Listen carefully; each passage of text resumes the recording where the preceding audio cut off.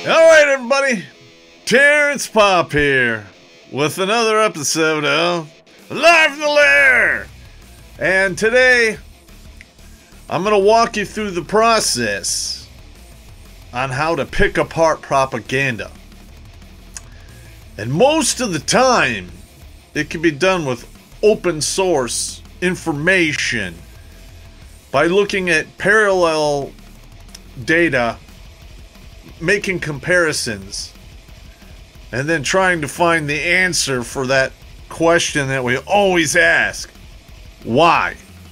All right, now, this briefing is not going to be done at a college level because this is fucking grunt speak and I'm a fucking grunt.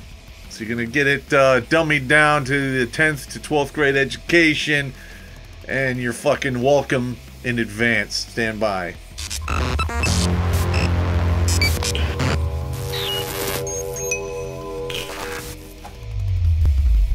You ever get tired of women staring at that bulge in your pants?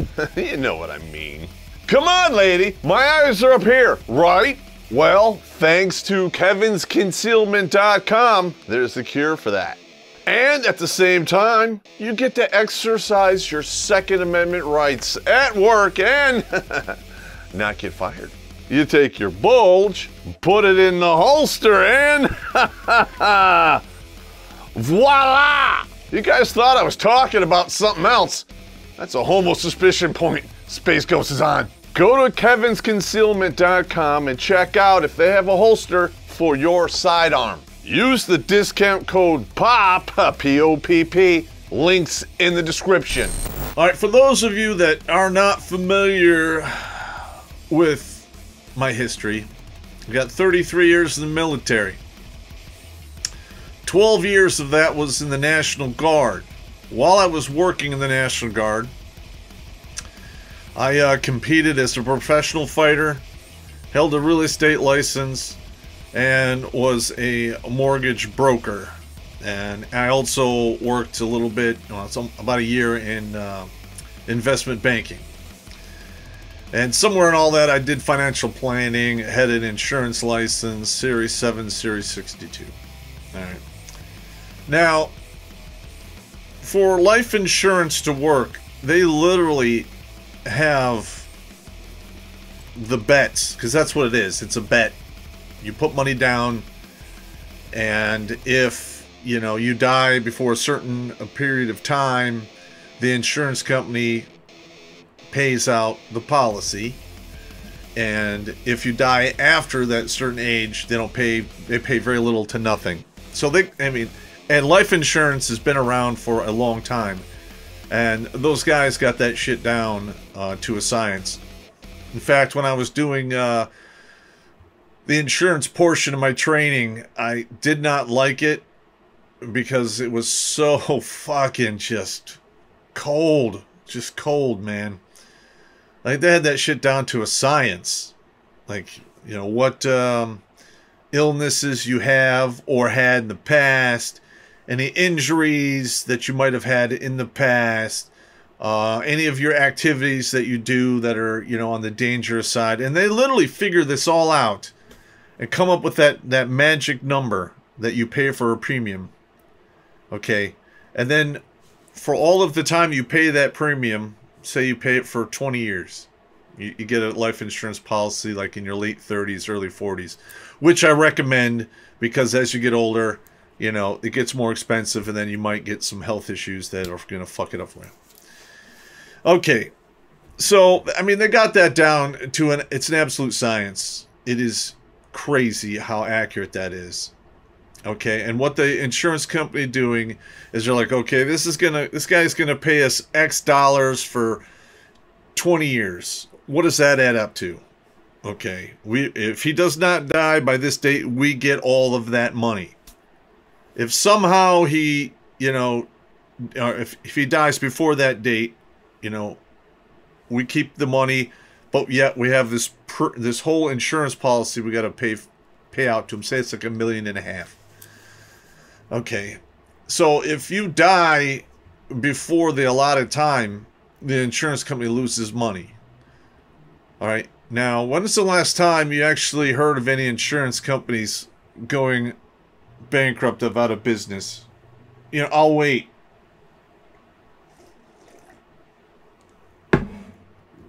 The answer is almost never. All right. There's so colleges, there's all kinds of shit around this stuff. They figure this stuff out. All right. So, you know, let's start over here. And uh, I got to get this to fit. Okay. Do, do, do, do. All right. All right. I don't want you guys to bitch about me not fitting uh, the windows in here. So, but this is just a basic life insurance mortality table. Okay. It just goes by age, male, female, and it gives you the basic life expectancy. Now, what you don't get here on this particular um, page is when you look into the actual, you know, mortality uh, tables and books, you know, you have all of the other stuff that you put in there that adjusts the stuff, you know, age, illness, you know, anything that runs in your family, you know, do you like skydiving or do you engage in uh, dueling or whatever it is? That's gonna, you know, if they're gonna come up with a premium for you. All right, and like I've said before, this place, I mean, they have this shit down uh, to you know to a T. Now this one here is from 2013. Data it does hasn't changed much in the past five years, even though we've had the EIO out and about, and that stands for unspecified illness of unknown origin, or it's all vowels. It's a woman with a dick in her mouth. This is from Wall Street Journal. And this one, uh, when was this published? In uh, December 9th of 2021. All right, so a lot of times when you're trying to confirm intelligence estimates or um, rumor control or you're looking for um, any patterns in the data that is not being, you know, told to the troops, which is basically you guys. You do stuff like this. All right, so you can't hide the numbers. Okay.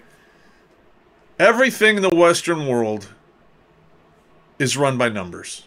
Okay. I mean, you get up in the morning, you got to get up a certain time, you get paid certain amount per hour, you drive so far to work, gas costs this much I mean, in any any given moment, a person with an average IQ in the Western world is always running through the numbers in his head. What's he's going to get at the end of the month, what his expenses are going to be, and that's just the way it works. You cannot escape the numbers. You can't. Especially when those numbers are attached to money.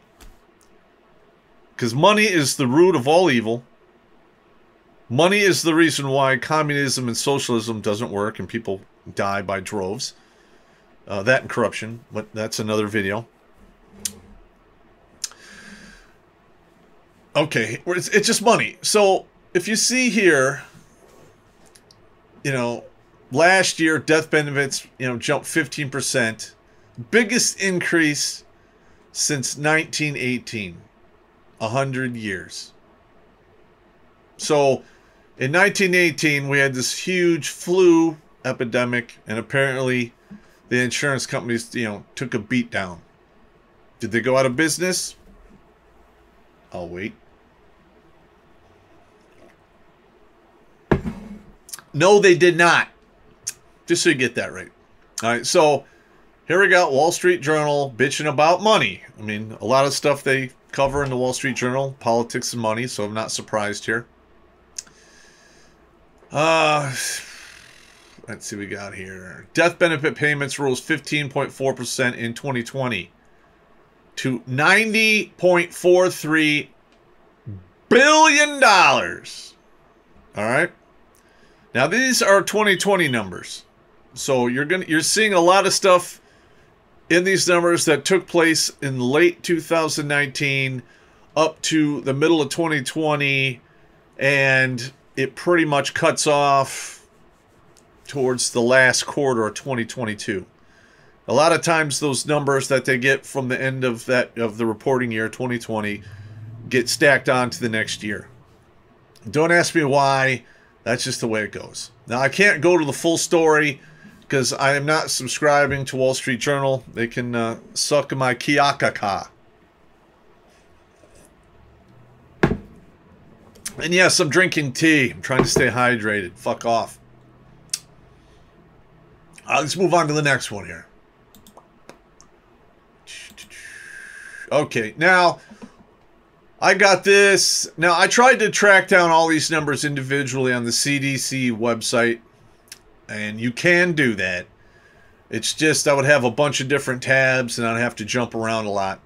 Okay, and this is, you know, basically myessentialnews.com from February, updated February 2, 2021. So this is fairly, you know, it's not super recent. It's like a year old, but, you know, what are you going to do? Okay, so if you look here at the death rates,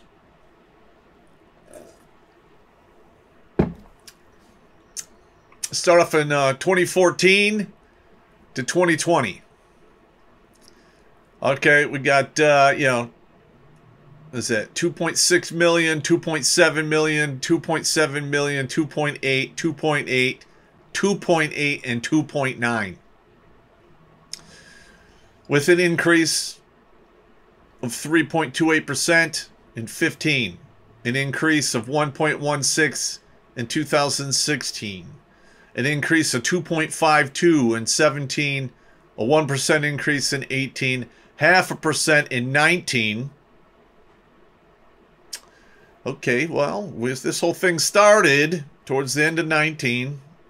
So, like I said earlier, the numbers and craziness that took place at the end of 19 got stacked over here in 2020. So you have the craziness that took place at the end of 19 all through 2020, and you have an increase of 2%.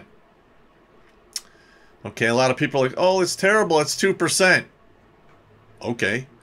Well, what happened in 2017 when it went up 2.5%?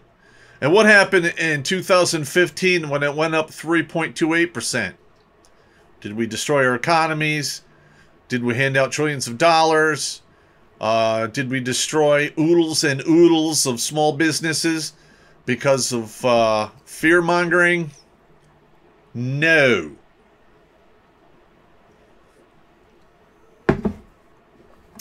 Okay.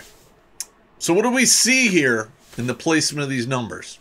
I'm looking at the data here from 2020 and I'm not really that impressed here. Okay. It, it was just a standard year. Okay. You know, 2015 was worse when it came to deaths. Okay. And uh, 17. Okay. So this, this is an example of the question why. Okay. You're asking the question why. There technically there is no answer other than the fact that you know this is just a you know a plus or minus within the average that happens every year. Okay, because you would figure if we're having a big uh, kind of large event where lots of people are getting sick and dying, you would think that there would be a much bigger skew in those numbers. Okay, because whenever I hear about, uh, you know, large instances of disease and die off, you know, I'm thinking, you know, bring out your dead, you know, people wrapped in plastic, stacked like cordwood by, you know, the curb right next to the garbage cans because you got the death truck to get them, and then you got the garbage truck. You know, that's if everything was to stay in place. You know, because if, if it got that bad, I'm thinking it probably wouldn't. All right, so, you know, this is just the numbers right here. All right, and again, you know, tearing apart propaganda, when you apply logic, reason, stats, numbers, and truth, you can almost, well, you will always rip it apart. All right, this is another graph that I tracked down. Now, this one comes right off the cdc.gov website. All right. And this is the life expectancy in years. Okay, you, you can see this one is going up here. In 2018, went down quite a bit because we had, you know, the flu and World War One. But after that, it continues to go up. There's, there's some jumping around in this line. But if you were to, you know, basically average out all these numbers, you would see there's an upward, you know, curve on this. Okay, and this one here is the what is the age-related death rate. Okay, you can see right here that this age-related death rate has been going down. All right, so we're gonna zoom this out here. You can learn a lot by looking at graphs like this. Okay, like I'm a visual person. I read a if I read an article and it's a page, page and a half, and there there's no graphs. I'm gonna have a hard time with this. But when you can you can plot it out on a graph, it, it really makes everything come into clarity.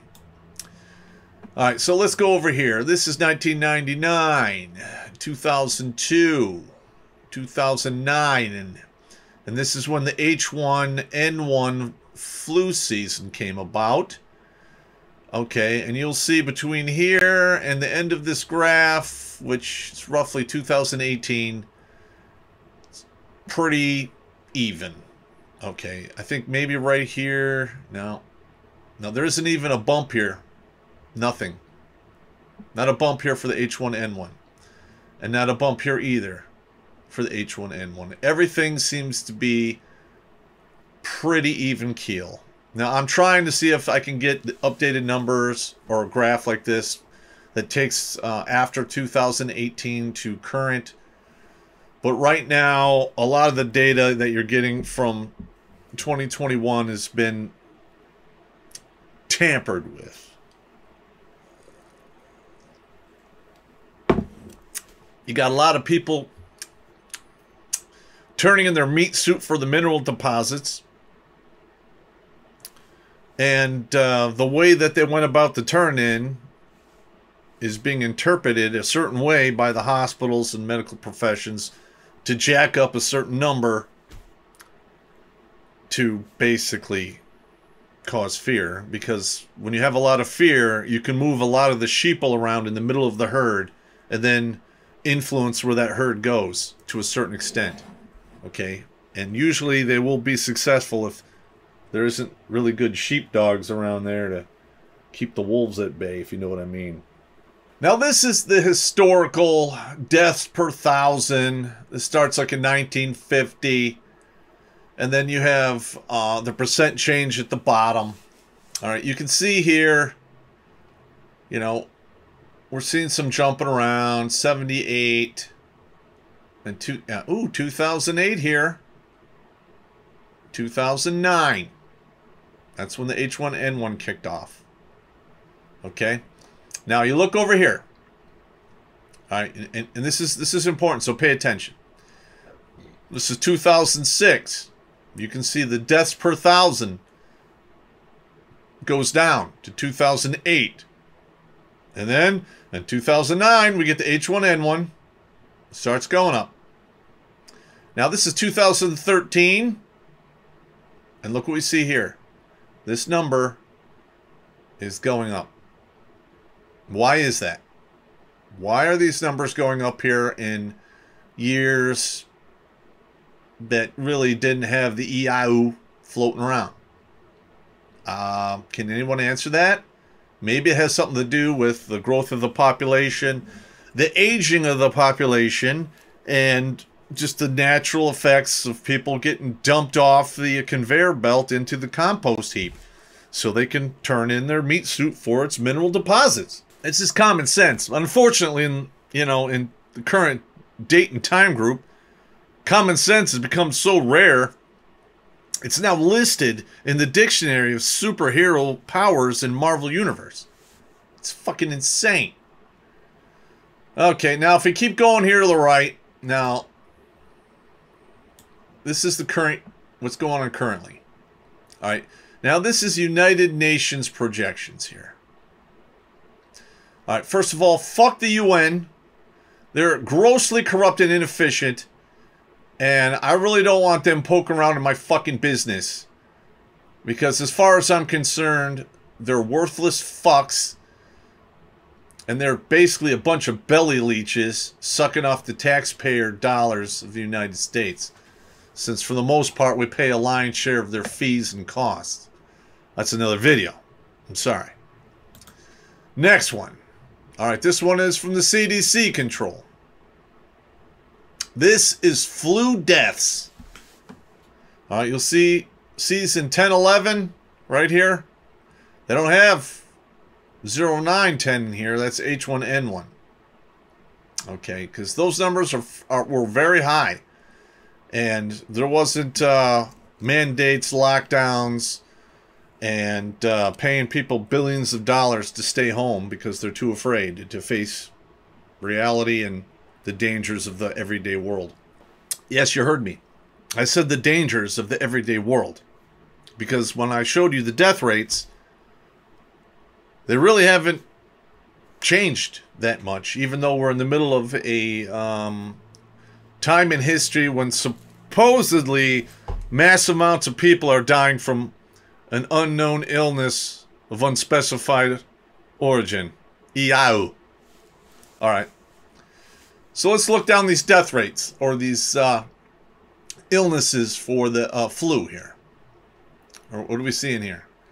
We're coming off the tail end here of H1N1. Now this one here, 2012, 2013. It's pretty high year. Okay. You see what's going on here?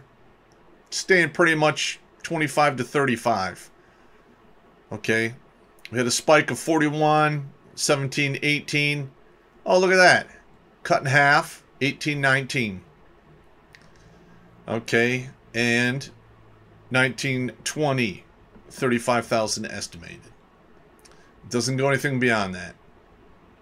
So, yeah, you're not really seeing a lot of craziness here in regards to the flu. It's been pretty consistent. Um, I do question these numbers here, and I definitely question these numbers here. Uh, in you know 1920, especially when they come from CDC.gov. Okay, there's been some craziness going on with the reporting, and so and, so forth. Now here's another uh, graph. Now this is pictures. All right. Now at the top of the graph here, you have the deaths, then you have the hospitalizations, and then you have the illnesses. Okay. So in 10, 11, you had 37,000 people go to the great beyond. 12,000 the year after that, 43,000, 12, 13, 38,000, 13, 14, 51,000, 14, 15.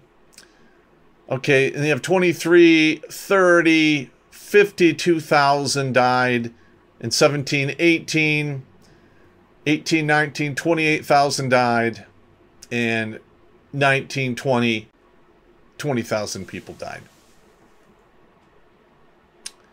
I don't know. I don't know. But this is this happens year after year. I mean, your, flu's not going away. The common cold is not going away. And this new version of the common cold that may or may not have been created in a gain of function laboratory is now out in the real world and it's not going anywhere.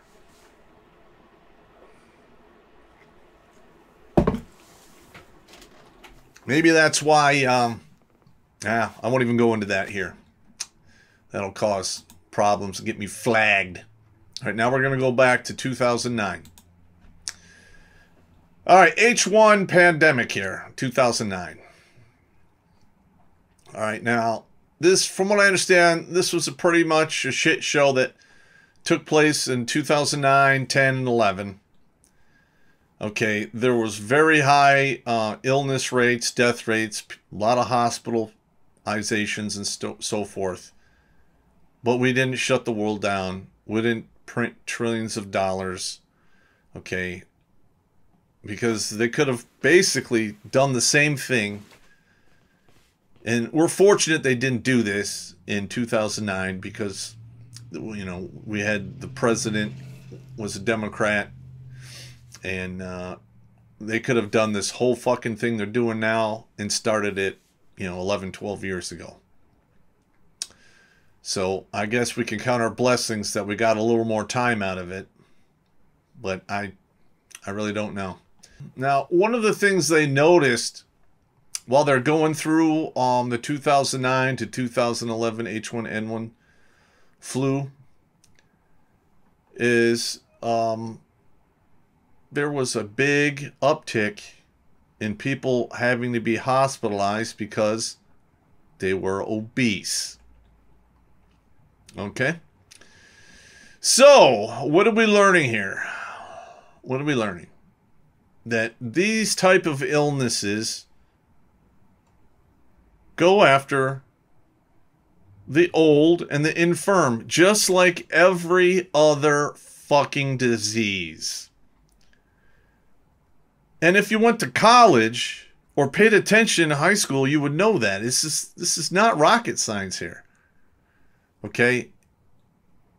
I mean, this is the way it works. So, the excuses or whatever the excuses are for the governors in the blue states who put individuals into nursing and rest homes that were infected with the EIU, they should have known better. This is basic knowledge here. You don't fucking do that. And, you know, they're talking about the antiviral drugs and so forth to help fight off the H1N1. And some of that stuff they're using, you know, for the EIU to, uh, it has a certain, it, it, it does have a certain influence, but, you know, it is what it is. I'm trying to get through here. And okay, now here we go. In June 11th, 2009, the WHO signaled that a global pandemic of H1N1 influenza was underway. What the fuck did the WHO do about it back then? I really don't recall hearing that much about this in the news. Do you?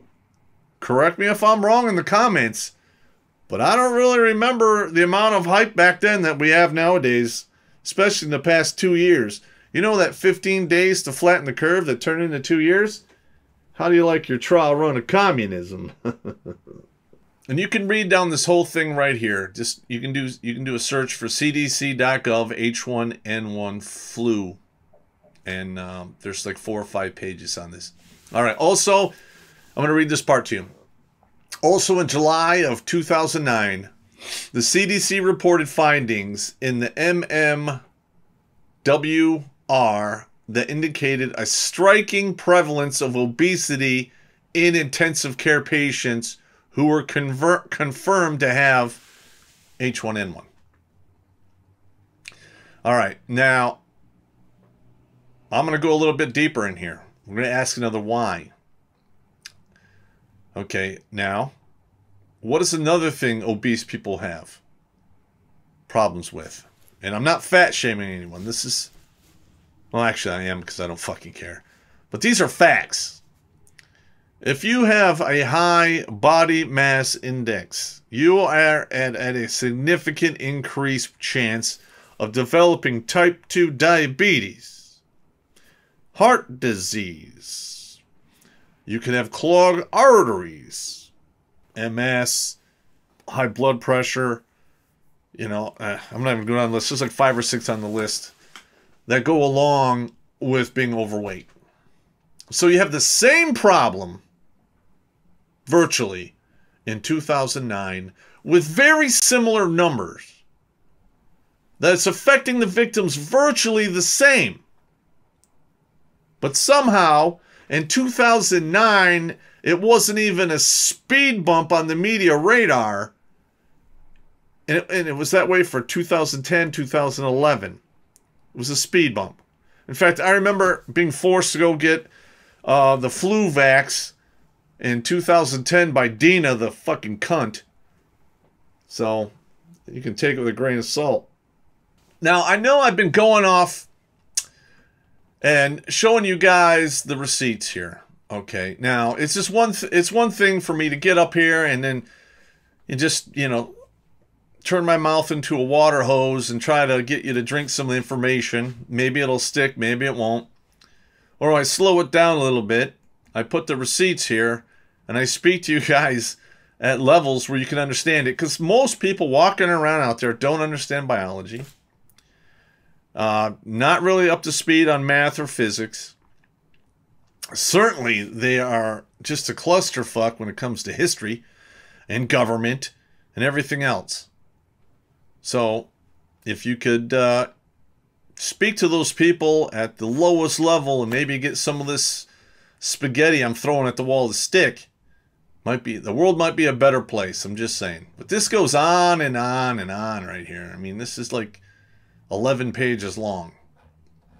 All right, so this is it right here to tearing apart propaganda. Now, I'm really concerned here because the VAERS database is being tampered with. Uh, they're monkeying around with who they consider fully uh, poked and smoked and who isn't. And that standard is changing all the time. And I think Israel just went into um, having their fourth booster. Okay, so if there's going to be a lot of bad shit coming down the pipe, we're going to probably see a lot of it happen there first. Just saying, of course, though their their climate is a little warmer than ours. It's actually a lot warmer, and uh, countries in warmer climates don't really get hit as hard. But we'll see. We shall see. All right. Hopefully you enjoyed that. I know it's long and boring, but uh, you know we are in the information war age right now, so you need to be able to do long and boring and look into the details and then be able to ask those questions why. And if those answer if you ask those questions why, you know, versus the propaganda and they can't answer then you know it's bullshit.